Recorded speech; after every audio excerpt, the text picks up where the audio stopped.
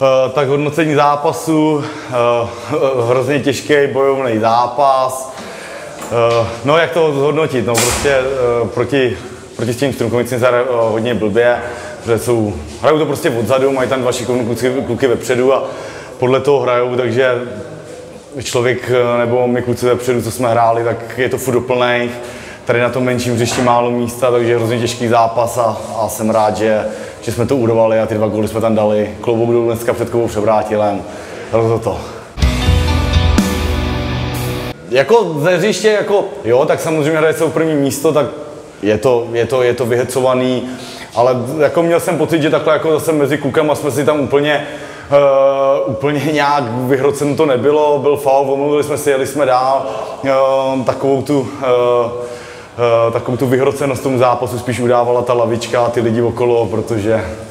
to, co tam předváděli uh, střídačka ústup, bylo jako na můj vkus takový zbytečný, ale jako kluci na hřiště podle mě úplně v pohodě, takže takže jo, vyhecovan o první místo, k tomu to patří, kvůli tomu to hrajeme tyhle ty zápasy, jsem rád, že se nikomu nic nestalo a, a že na pondělí budeme komplet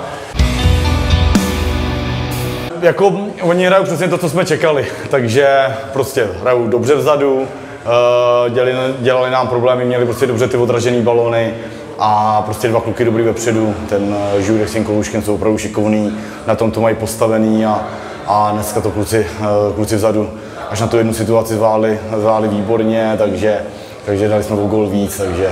jsme byli ty šťastnější dneska. Příští nás čeká Čkyně. Uh,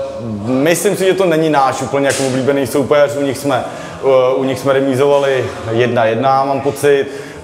Uh, úplně se nám tam nedařilo proti ním, takže teď i remízovali ve, ve Strunkovicích, takže ukázali, že vlastně hrát, uh, hrát i takhle jakoby na, na, na hřišti v tu chvíli prvního týmu prostě umějí, takže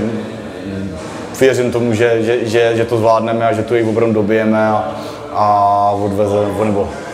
tři body dostanou doma, tak.